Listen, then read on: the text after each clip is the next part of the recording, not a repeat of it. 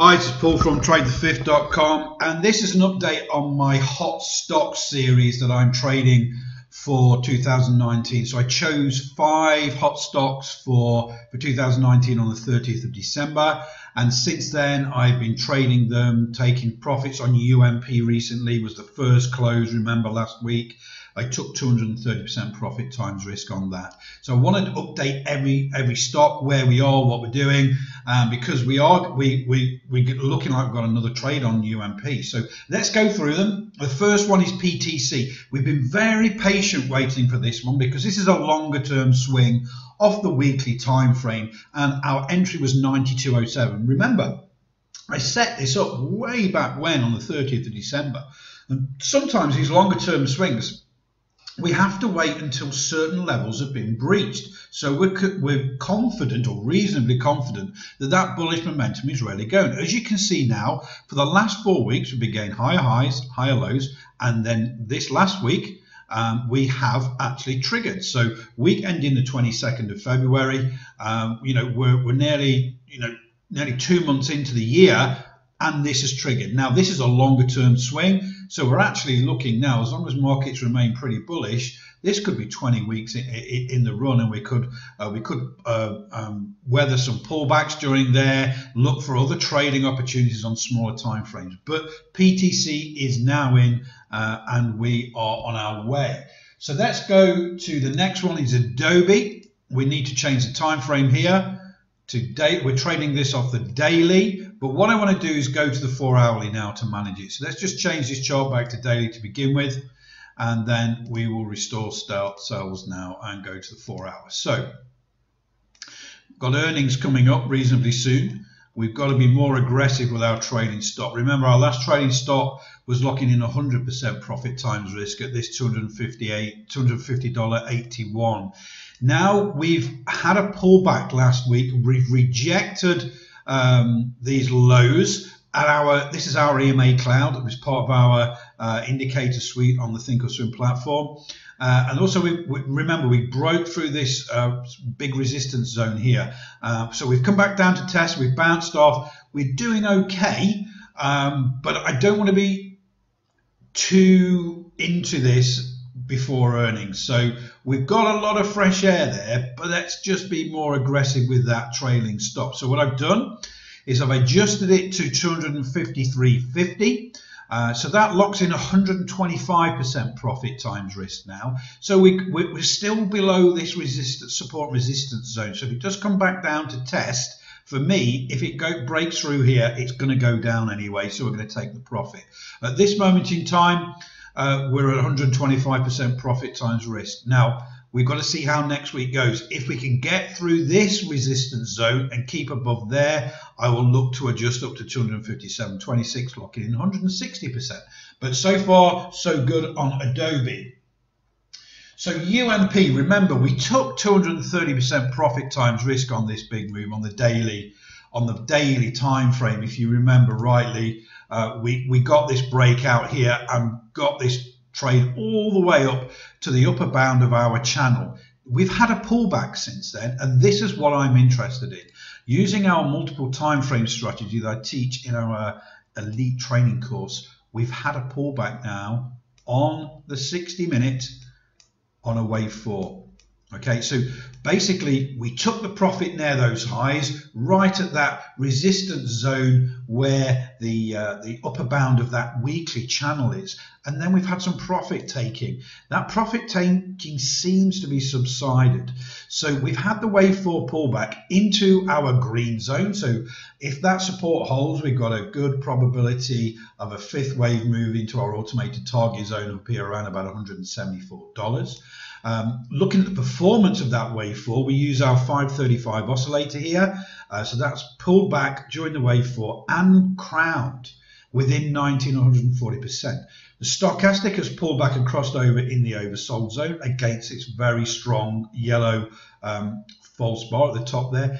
And you see on our multiple time frame, we're strong bullish all the way and our multiple time frames all the way up to weekly on here But these cyan dots here, you can see on this current six minute time frame, we're in the cloud. So we, we denote that pullback on multiple time frames as well. So all looking pretty strong. Uh, we've got to go from, a, I think, a reasonably aggressive entry here. Um, we want to swing this, but we need to be in and out by the end of the week in reality. Uh, we are going to test those all-time highs up here as well. So I've gone an aggressive entry at $170.40, which is above the highs of Friday because Friday we we had uh, the move down, it rejected it, and we formed that bullish pennant. So $170.40 is above that high and outside of the 6-4 moving average high for the first hour's bar position on Monday, the 25th of February. Then next, the stop loss 168.08, 168.08, a couple of cents below that uh, wave 4 and then the target is around about $174. So we're about risk to reward 1 to 1.6. But we have to manage this carefully because if we do find more resistance at that all-time high here, we've got to be sensible and maybe you know we've got to protect that profit we've already taken in this stock. So I will manage this as and when we as and when I can. But if we do get a move up and we get some um, weakness at this point, I'll probably move the, the stop to break even. So I'm not going to give anything back. Okay, so next is Costco. We're trading that off the daily. This is the first trade on Costco this year.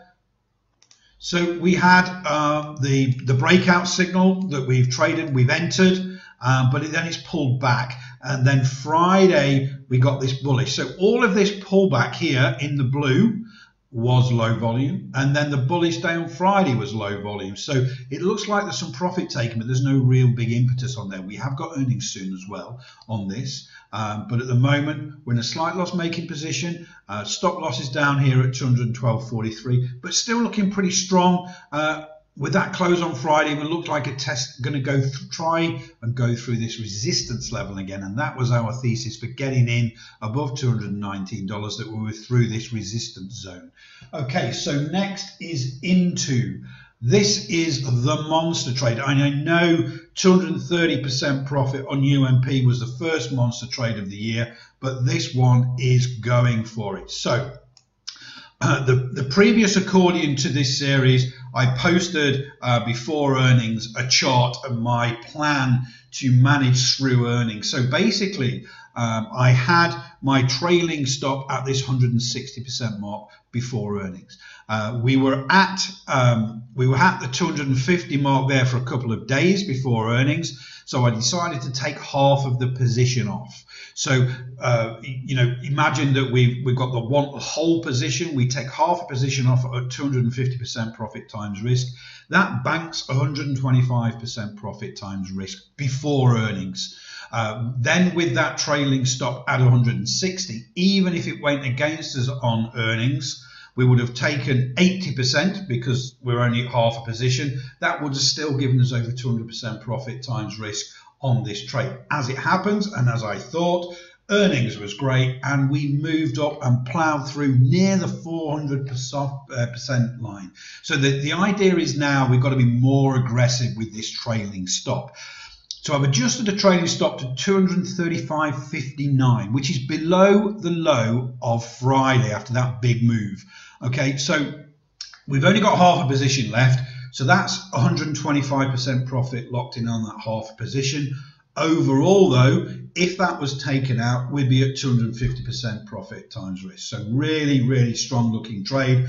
Got profit taken already, good profit uh, in. So what we're looking for, what the scenario is now for Monday is, you know, we could get a bit of a pullback. We got a very high volume day and price action on Friday, but it did close near the high. The most likely scenario is we get some consolidation. We start to form a bit of a bullish flag because we're at those all-time highs now.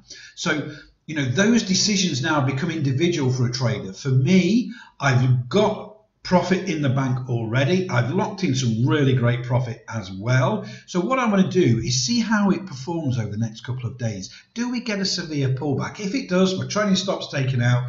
Overall, for the whole trade, I've taken 250% profit times risk. Add that to UNP, you know, I'm, I'm literally 480% profit times risk on just two of the five hot stocks for this year.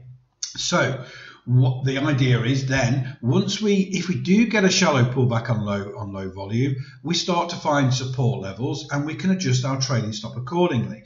So right now we're reasonably aggressive and the plan into next week is to see if we get some consolidation or a pullback look for further support levels and then start to adjust higher to protect even more profits. So really, really great. So five hot stocks. I chose these at the beginning of 2019 and I want to continue trading them through the whole year. So keep coming back to this article. The I'll show you the article on the website here. So remember This was the 21st of February. This was before. So and this, and then if you want to look at the video before, you click the down arrow and you watch the video. So every single update I've made, the the trade setups, the entry strategies, the management strategies are all in there. And that's my first video from the 30th of December. And I'm going to continually update this throughout the whole year. And just goes to show you that actually, when we're trading and swing trading uh, and using multiple time frame strategies, we can choose a number of stocks that are good, strong growth stocks. Yes, you need a bit of skill finding those.